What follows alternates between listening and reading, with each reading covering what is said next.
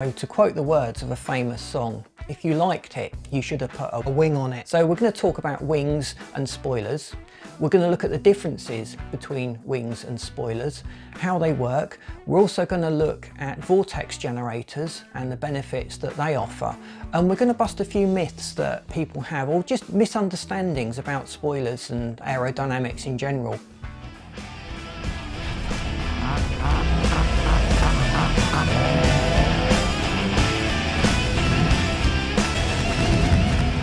In this video we're going to talk about aerodynamics of a car and whether a car needs a spoiler or not. You see a lot of hot hatches and tune cars around with great big scaffold on the back with a wing on it, but does it actually work? What are the benefits of it? What's the theory behind aerodynamics? Now, we're not going to go into this subject in great detail, so if you want to go into more detail, that information's out there. Our aim here is just to inform people so they can understand the basic concepts involved, come up with a good package of aerodynamic enhancements for your car. So, spoilers and wings. Wings give you downforce. They're mounted much higher up on the car, usually on some form of scaffold. Um, it's basically an upside down airplane wing and it's used to create inverse lift. So instead of with an aeroplane you want lift to raise it up, in a car you want it to be pushed down. So we're going to talk briefly about aeroplane wings and lift. You'll notice an aeroplane wing has a larger surface area on the top and a flatter surface area underneath. And as the air moves over the top, it's travelling faster and faster air creates lift. We just do a, a, little experiment to illustrate this. So we can demonstrate this effect with two sheets of paper. If you blow between the two sheets of paper, see what happens. They move together. That fast moving stream of air is creating a region of low pressure and forcing those sheets of paper together. And that's exactly how an airplane wing works. It splits the air up into a fast moving stream that has to go over a large surface area and a short surface area. And that large surface area is on the top of an airplane wing and it gives you lift. So in a car, you'd want that inverted, so it's giving you downforce. Now spoilers tend to be on the trailing edge of the roof or the last part of the car. Now the aim of a spoiler is just to spoil the airflow. We have the Coanda effect. So the flow of air around an object is very much like water. Just illustrating it with a tap and a glass you can see how the water is wanting to follow and continue on a path around the glass. In fact, the water practically goes up the other side of this glass.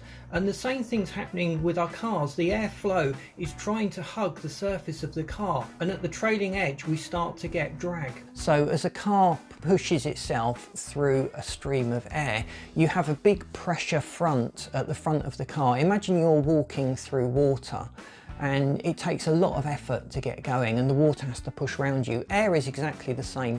The faster you go, the harder the car has to work to push through the air. And the faster you go, the bigger the effect of aerodynamics are on the car.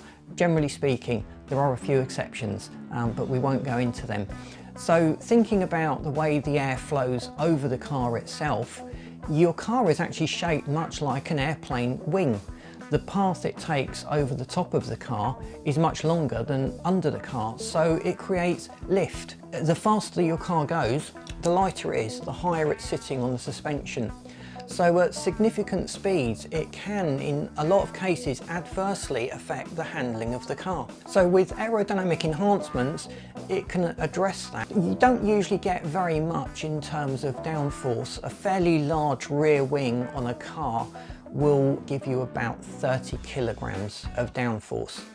Um, but that 30 kilograms is useful, it's counteracting the amount of lift that the car is having and restoring some of the lost handling characteristics that you have at those speeds. So as the air travels over the car, you have the boundary layer where this fast moving low pressure stream of air creates a void underneath it. The air underneath it on the car can actually flow in all sorts of turbulent directions. You're creating turbulence and drag. So you really want to keep the boundary layer as close to the car as possible. And this is where vortex generators come in. You've probably seen them. The Mitsubishi Evo is the most popular car out there with vortex generators on. Um, we won't discuss the merits and benefits of the specific design. The vortex generators on a Mitsubishi Evo are mainly for cosmetic reasons with a little bit of aerodynamic enhancement. If you were specifically designing a vortex generator for a car, it wouldn't look as pretty as that, but it would be a lot more effective. So the idea of these vortex generators is to create little vortexes in the air to break up that boundary layer and keep the airflow through the car. So your wing at the back needs airflow underneath it so we said that fast moving air creates an area of low pressure and you want that beneath the wing so it pulls the car down onto the road. If the air is just going over the top of the wing, you're just creating more lift and in a lot of cases a lot more turbulence. So you'll notice that a wing, as well as generating a lot of downforce, increases drag. You can tune the wing to a certain extent and get the maximum benefit of downforce and minimize the amount of drag it creates. Generally in pretty much every case you will create a lot more drag when you fit a wing. So you've got to weigh up the benefits as to whether you want more cornering grip and better handling and road holding, or whether those top speeds and the lack of drag is more beneficial, in which case you would dispense completely with the wing. So the formula is the drag coefficient is quite complex to actually um, get that drag coefficient figure. So it's calculated by lots of different aspects of the car. It's often quoted by car makers. It's quite important um, for car makers to have a low drag coefficient or a low CD. Um, a Volvo V50, a Mark V Golf GTI has a CD of about 0.32. Um, a 1979 Ford Mustang measures about 0.44 and the typical F1 car clocks in at 0.7 to 1.1.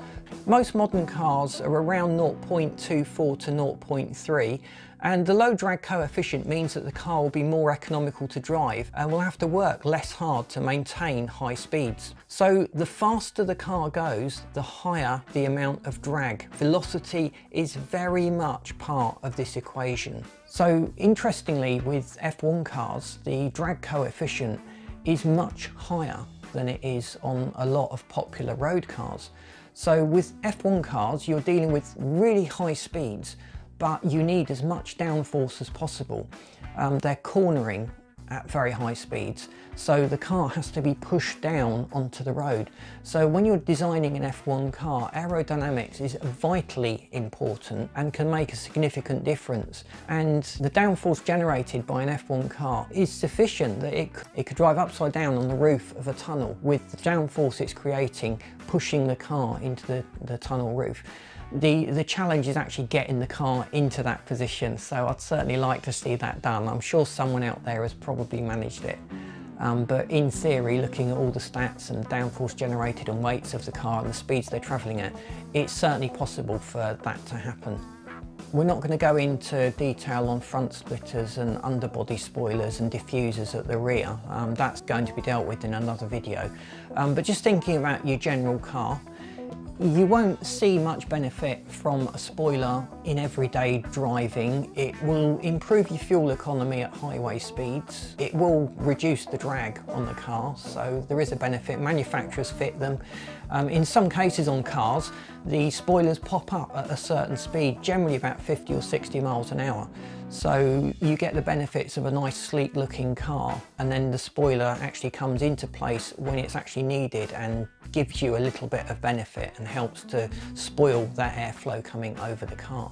Uh, in terms of wings though on road cars, I wouldn't really recommend fitting a wing. You're not going to get very much downforce at general driving speeds. It looks cool in the eyes of many people, so I would certainly respect that. For me, I wouldn't worry about adding a wing. If I was driving at speeds of between 70 and 100 miles an hour, say regular track work and that sort of thing, there's an argument there for actually getting a wing fitted to your car. And in some cases of cars where the design creates an awful lot of lift. You'd argue that a wing would be beneficial on those cars to actually keep them on the road. So what are our thoughts about vortex generators, spoilers and wings on everyday cars? Well, it's very hard to actually give a very specific answer because cars come in so many different shapes and size and the aerodynamic flow over the car will to a large degree determine on which option would be best for you. Um, in most cases, we see benefits from vortex generators along the trailing edge of the roofline. Um, that reduces drag, it can help your fuel economy, and if you've got anything like a spoiler or a wing further back, it can encourage the airflow towards those and maximise the benefits you get from them. Um, spoilers also reduce the drag, so on quite a few cars it makes sense to have a spoiler fitted just to keep the air flowing over the back of the car and avoid that drag that you would otherwise get. When it comes to wings though, they give you a lot of downforce, so you get extra grip and better cornering, but they usually and in most cases create extra drag. So that ruins your fuel economy and effectively slows the car up. Plus, with all of these things, you're adding weight to the car and weight is a big drawback when it comes to performance. You want your car to be as light as possible. So you do need to be traveling at reasonable speeds to get the benefits from these wings and spoilers. And in most cases, you won't generally notice it in everyday driving. If you're doing a lot of track work or a lot of very fast driving and cornering grip is important, then you can certainly move wings up your priority list. We hope this video has given a good overview on spoilers and wings and vortex generators and it's helped you to understand a little bit more about aerodynamics and hopefully we've blown a few of those common misconceptions and misunderstandings about aerodynamics out of the water so that you can approach it with a, a good eye and have a reasonable knowledge as to what you're getting into. Um, check up on our site, we've got some articles on aerofoils, spoilers, wings and various aerodynamic enhancements of a car along with all the other tuning stuff that we do. We're always updating those articles so keep checking back. I spend a lot of time just researching different topics and going over what we've already got just to make sure that we're always publishing the cutting edge. So if you haven't already subscribed please do so, you won't miss out on future content that we release and remember to stay tuned.